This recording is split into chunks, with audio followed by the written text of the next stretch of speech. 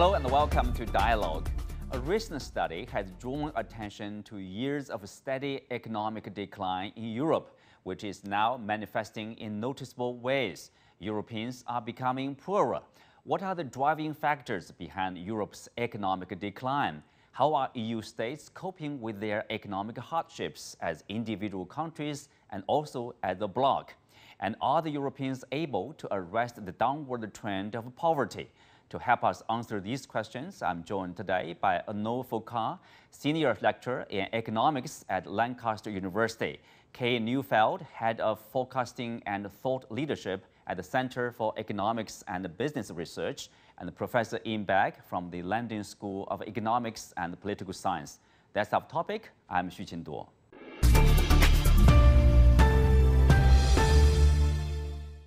Welcome to Dialogue a recent Wall Street Journal article titled Europeans Are Becoming Poorer. And quote, yes, we are all worse off. Uh, this article has sparked heated discussion online um, across the Atlantic. Uh, let's uh, start with Iain. You know, uh, first of all, I want to have your response to the report saying that you know Europeans are becoming poorer.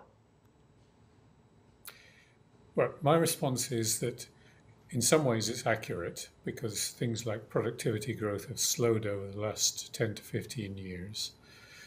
The Europeans are aging as a society, and that tends to diminish the potential for GDP growth.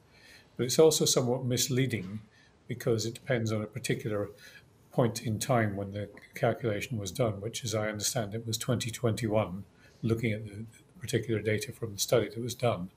2021 was a year in which the dollar was high. If you did the same study now with the dollar much lower, you get a very different result. So you have to be very cautious about these kinds of figures. I also noticed that uh, in, in one particular piece of uh, misleading information, they classify Luxembourg and Ireland as being by far the most prosperous EU countries.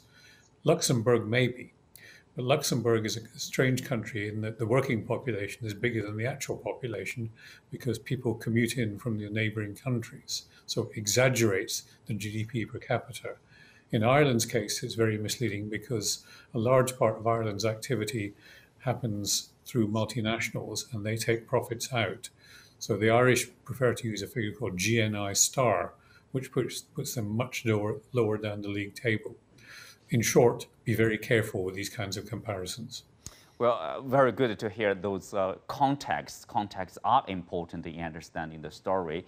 Uh, so, Renaud Foucart, uh, do you agree? I mean, there are a bit, maybe, uh, let's say, some exaggeration in terms of uh, characterizing the popularization of the Europeans here?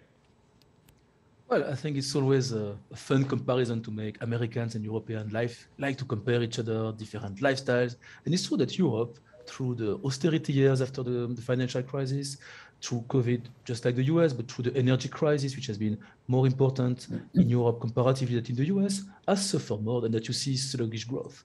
But in the end, in the grand scheme of things, uh, the relevance of um, European economy is not necessarily about comparisons with the US. Like in the world, you are a country, um, a continent of, you know, uh, an association of countries, 300 million people. Uh, you are going to be smaller and smaller comparatively in the world economy simply because you expect the rest of the world to grow. So, what is the role of Europe?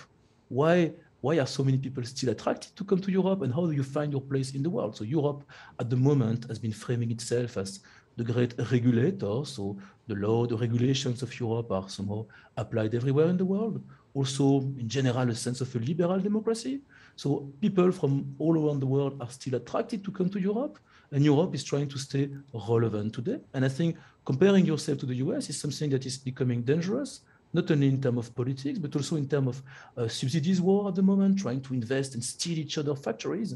It may be sometimes a bit of a fake conflict between two blocks with a lot of things in common, while in the grand scheme of things in the world, um, they seem to have a lot of uh, things to agree on. Mm-hmm. Uh, so, Kay, do, I mean, uh, again, a good point here. I mean, partial uh, comparison sometimes is incomplete, and you hear an incomplete story that could be misleading. Uh, so, but with that being said, do you think the people uh, I mean, the public, people on the street, do they feel somehow they are worsening off in terms of their daily lives or daily consumption? Well, I think there might be that impression, um, but I think that's something that's been experienced, you know, in, in many countries the world over, because we are going through um, a historic bout of high inflation, and we have been uh, since you know, the summer of 2021, really. And you see that in Europe we have a lot of labor disputes because wages are not keeping pace with inflation, um, and that means basically that households are worse off; they have less money available for consumption. And uh, these losses need to be distributed somehow. So the government can decide whether you know it's either businesses who need to take the loss, or the government um, can you know you know have subsidies or, or higher benefits, uh, so take a bit of the loss for themselves, or it is households who who, who um, have to bear the brunt of that loss. And I think that experience has been quite acute here. We haven't seen inflation in the double digits, um, you know, since the 70s in Europe and it's um, been quite an incisive uh, experience. Luckily, uh, now inflation is falling. Uh, the central banks have acted uh, by raising interest rates to combat this inflation, and it's starting to show its um, effects. However, we also feel the side effects here in Europe, which is slowing GDP growth. Um, so we have, you know, for example, Germany, who's not experienced any growth since the third quarter of last year and is teetering on the edge of recession. Um, overall, the European growth outlook is quite subdued for this year and the next year um, because of these uh, you know, side effects of high inflation and of the high interest rates uh, that have been imposed in order to combat inflation. So I think people, you know, they, they notice that, you know, the money is not going as far and, and therefore that impression of being worse off uh, is justified to a certain extent. Mm -hmm, to some extent. Uh, uh, Iain, if you look at the comparison, let's say in absolute terms, uh, in terms of GDP or the size of the economy, uh, you know, according to the Wall Street Journal story, America's economy is nearly twice the size of the 20-nation Eurozone's economy, according uh, to the IMF. You know, that's uh, the figure they quoted here. But they were similar in 2008, about 15 years ago. So uh, let's say the US economy is much larger now than that of the Eurozone? It's bigger, but it's not twice as big. I don't know where they managed to manufacture that statistic from because it doesn't make sense. I think it's, it's worth pointing out that the European economy overall is just about back to where it was pre pandemic in the level of economic activity. So it's not a calamity. It's not as though we've suddenly fallen off a cliff and Europe is now back to a very small percentage of what it was previously. We've just lost the equivalent of three or four years' growth, which you might have expected to have pushed it up a bit more. But you need to be very careful with some of these comparisons for a different reason, which is mentioned in the report, but not really followed up, and that is the purchasing power of different countries is very different. You can you can spend $100 in Bulgaria and you will get far more from it than if you spend $100 in Denmark or Luxembourg, which are very expensive countries. So be careful with these things as well. What I think we're now seeing is the effect of the pandemic and particularly the war in Ukraine, which has moved the terms of trade, something economists refer to, which is the price you obtain for your exports compared with the price you pay for your imports because of the surge in oil prices and food prices, food producers and oil producers have done relatively well. Those which consume food and oil have done relatively badly. And that's being reflected now in the squeeze in the cost of living. But I would regard that as temporary. Those of us with uh, long enough memories of, of all this know that in the late 1970s and early 1980s, there was a huge surge in oil prices, and then they collapsed. By 1986, oil consumers were feeling very prosperous again, and oil producers like Texas in the US were struggling. So these things go in cycles. Picking a point in the cycle and saying this is a, a clear demonstration of, of, the relative positions is a dangerous thing to do. Mm-hmm. It's a dangerous thing, but uh, if you look at the you know the major factors affecting economic performance in, uh, you know the story pointed out to this. Uh, the aging population, you know, uh, you know, preference for free time and job security, etc. Do you agree with them? Uh, these factors do play a role in probably the economic slowdown. Well, they undoubtedly do, because an aging population will tend to be less productive. The, as people move into retirement, they cease working, so the, the ratio of uh, dependence to those creating economic activity goes up, and that can tend to, that tends to have a big influence. One example of this from further back is Japan, which from the, the late nine, uh, early 1990s onwards, Japan had uh, two decades of relative stagnation but when you go to Japan, you don't see poverty. You see people spreading the income in a different way, which is about the distribution of income rather than the generation of income. Uh, yes, uh, and uh, no, uh, you know, if you look at the uh, the story, of course, there's a, I mean, underlying uh, tone that is obviously disapproval of the practice of people's preference in European countries for, for example, free time and job security. they, they mentioned the several stories of individuals of uh, uh, preferring like a 30-hour work week rather than 40 hour or longer hours of a work week. Uh, what do you make of that? I think it's always something important to keep in mind is what kind of life do you want? And the example you give of the, the four-day weeks from, uh, from Germany, the fact that unions in some country have the feeling that what their members want, what their workers want is actually a better quality of life, it's a sign that things are not necessarily that bad. So uh, it's, it's also the reason why I think a lot of people see those figures of GDP as very important measures, but cannot completely hide the fact that first, you look at figures of GDP per capita when you compare countries, but distributions matter. So is the median person in the US so much better than the median person in Europe?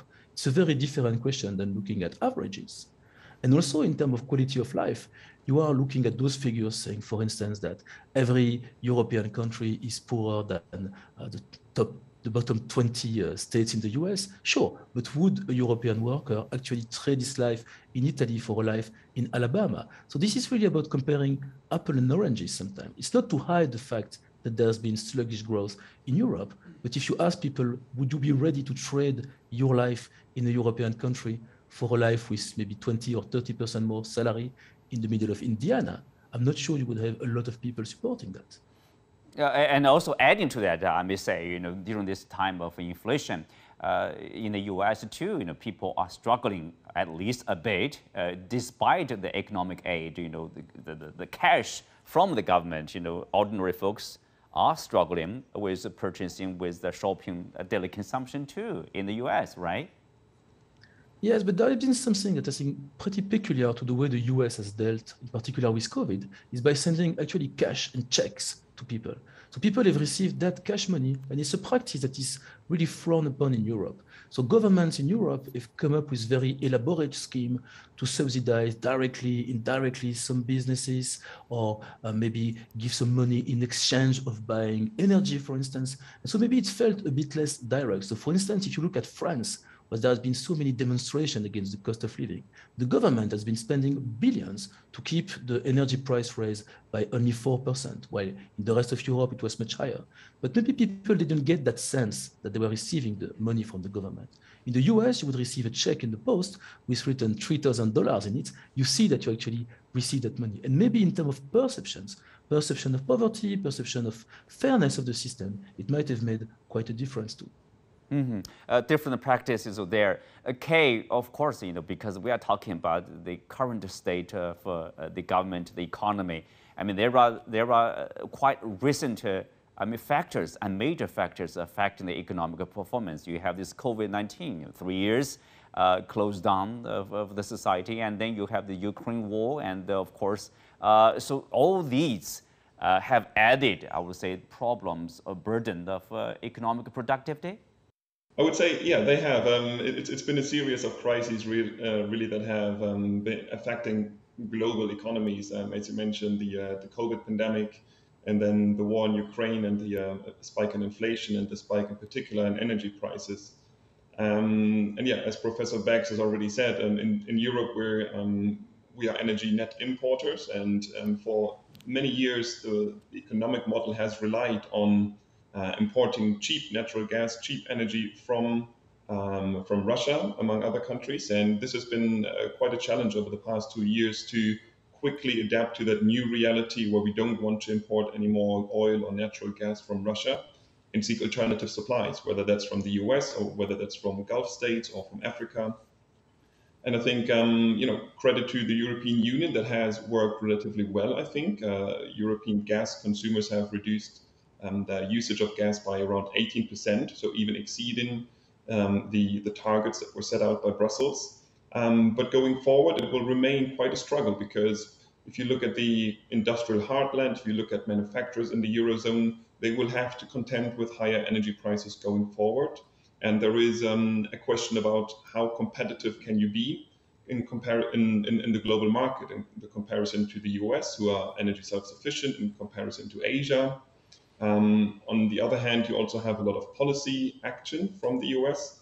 Um, we have the Inflation Reduction Act. Uh, we have loads of subsidies that are trying to attract investment, trying to attract businesses to relocate to the US in order to um, benefit from these subsidies. And I think there is, you know, largely I want to agree that you know these these comparisons can be exaggerated sometimes, but I also think, and I would want to say, there is a real threat that um, going forward, the eurozone and uh, the European Union um, might struggle to generate the growth that is necessary to, um, you know, deal with the global problems that we have, with the climate crisis, with the aging population, um, because at the moment it's not quite clear where that growth momentum will come from. Mm-hmm. Uh, well, Kay, uh, I, I, assume the governments uh, in, in, Europe then they are fully aware of the problems or the challenges inside their economies and also from outside uh, competitors, competitors, in this case, uh, Washington, in terms of the industrial policies, for example. So, what are the governments doing to address these challenges? Yeah, certainly they are aware, but um, the difficulty here, of course, is that you know the U.S. is a, a, single country, whereas the European Union, you know, it's a it's an agglomeration of countries. So it's it's more difficult to find policies that all the members agree with and all the members can can support. Um, we have also in the EU um, uh, programs that help to rebuild the economies after the COVID shock, such as the um, the Next Generation EU plan. So these are also around, I think, 400 billion um, euros of investment into clean energy, into renewable energies um, that are distributed among um, member member states. But um, the question is, is it enough? Because in the um, in the US, we've um, not only had the Inflation Reduction Act, we also had the CHIPS Act and another program by President Trump.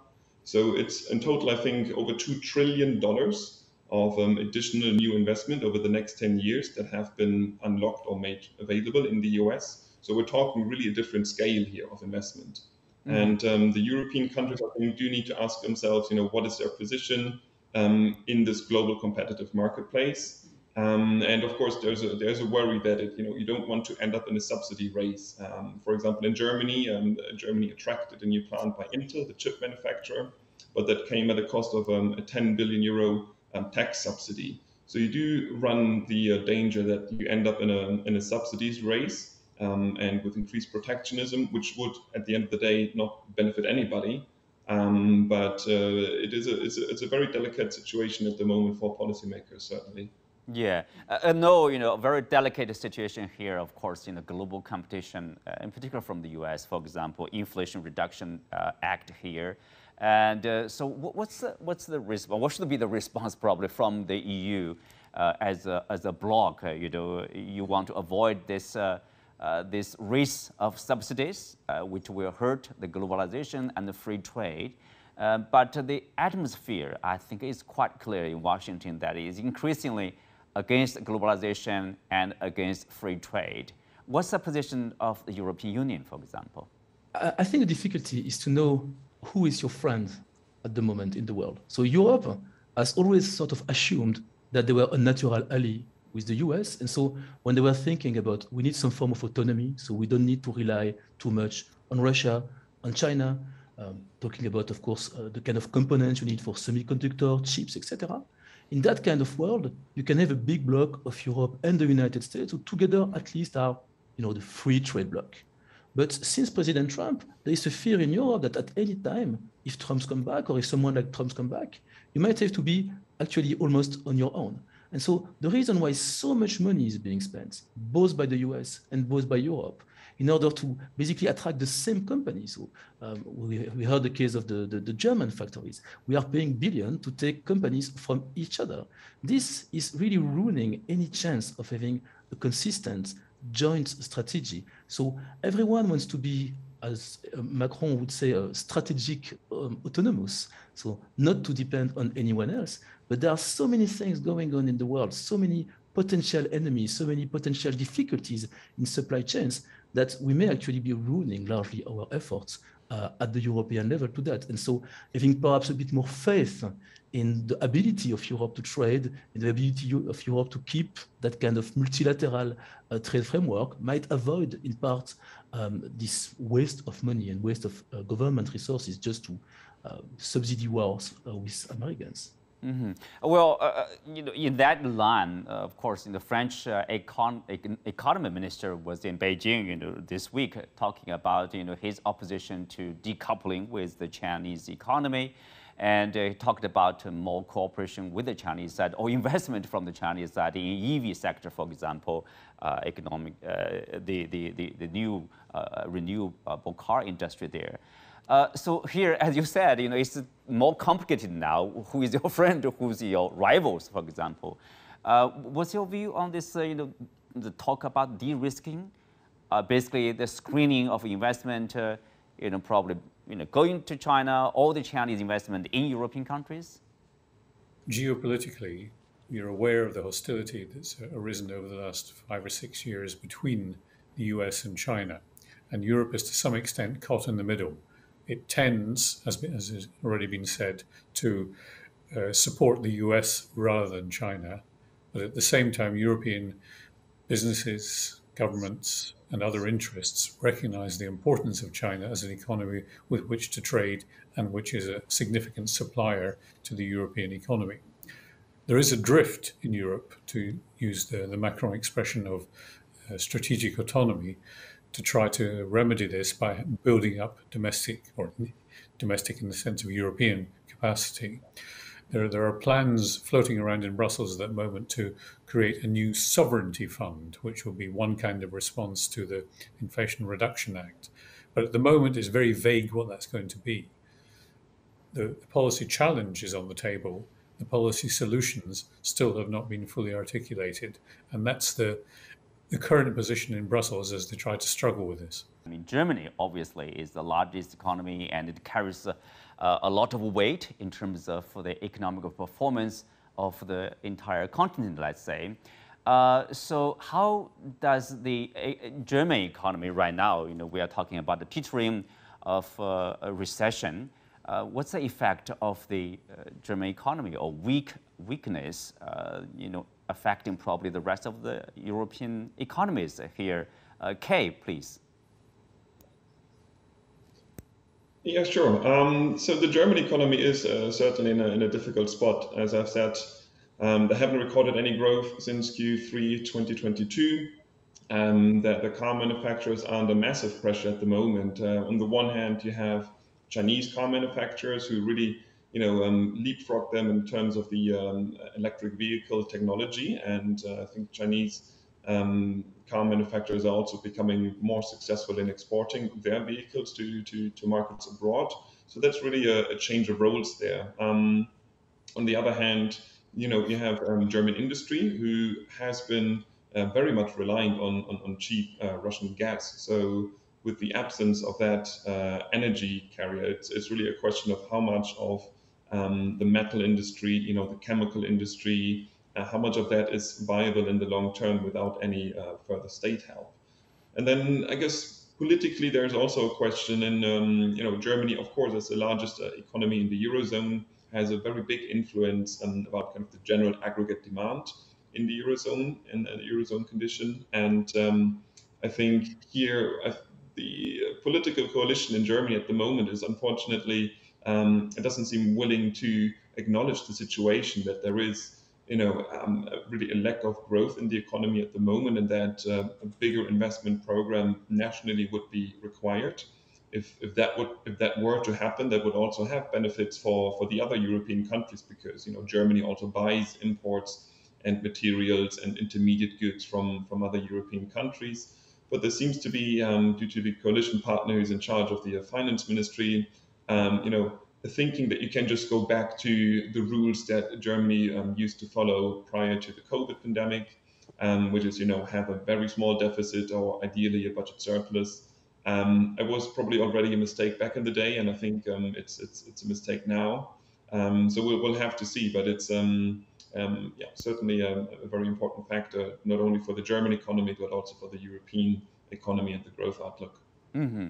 Uh, so, uh, no, uh, foci, you know, if you take uh, all the fact, factors, I would say, into consideration, you know, domestically and uh, the uncertainty, let's say, in terms of relationship, uh, in terms of the global competition, what do you see the prospect of the European economy, for example, in the next five to 10 years? I think if, if I want to be optimistic, the first thing Europe needs to do is to be stronger in what it does the best, which is free trade and regulation for the world. People need to see Europe as this very big single market in which you want to invest and that will then somehow uh, be the, the leader for the rules that the other ones will follow. In that sense, Europe can keep its relevance. My fear is that it doesn't happen like that. If we go back to more protectionism, more say nationalist stance, it might be much more difficult. But Europe being a relatively small in terms of population, relatively aging, it can find its way only through innovating, regulating, and being relevant to the rest of the world. Mm-hmm. Uh, Iain Begg, if you look at the globally, the competition, I mean, we can say there is a competition. Uh, the major economies, uh, uh European economies, uh, the United States, China, you know, India, and uh, other large developing nations. so, what kind of a future do you see, in, in near future, for the European economies? Well, the European economy will see its share of global economic activity continue to decline. But we shouldn't fear that. It's, it, it's a consequence of countries like China becoming richer that those who are competing with, with China become less, uh, a lower share of global economic activity. We should welcome the fact that India is next, probably, to reach a, a development threshold, as China has done, and that some of Southeast Asia is going in the same direction. It doesn't make Europeans worse off. It just means that compared with everybody else, they don't seem to be as well off as they used to be. And I think that's an important message, both to send to Europeans who might be concerned about these rather misleading statistics we've been talking about, but also to policymakers who shouldn't fret unduly about coming down the league, the international league tables. I mentioned earlier the case of Japan. Japan is not somewhere where you feel uncomfortable. It's not somewhere where, where it looks as though there's massive poverty going on. They have solved the problem of slow growth and found ways of distributing that slow growth among their population in a far more equitable way than some of the countries which are at the top of the league tables, including the US. The degree of inequality in the US is something we've not really touched on, but it's a real shame on that country that inequality is so extensive in the way it is. And of course, there are also other factors I think they are critical in offsetting the problems or challenges like aging population, for example, automation and AI, uh, the use of AI in helping increase the productivity. Uh, on that note, we come to the end of today's show. Many thanks to our guests. You can also find us on the CGTN app on YouTube. Thank you for being with us. I'm Xu Qinduo. See you next time.